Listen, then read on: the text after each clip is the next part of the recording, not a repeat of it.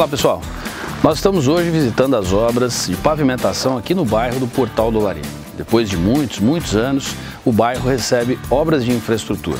Pavimentação que garante o acesso às residências, a correção do grade, a correção da drenagem e os novos passeios calçadas que estão sendo feitas nesses contratos de pavimentação. Não só aqui no Portal do Laria, mas também Pontal da Cruz, bairro de São Francisco, Cigarras, Costa Norte e em diversos bairros na região sul, como Cascalho, lá em Boiçucâmbio.